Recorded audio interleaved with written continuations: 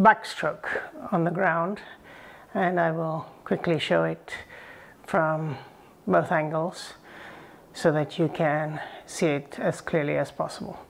But fairly straightforward, fairly simple.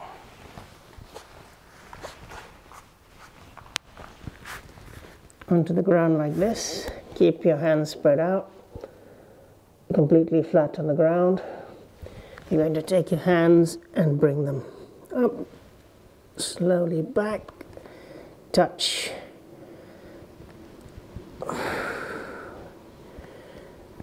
Think of it as a like a butterfly backstroke.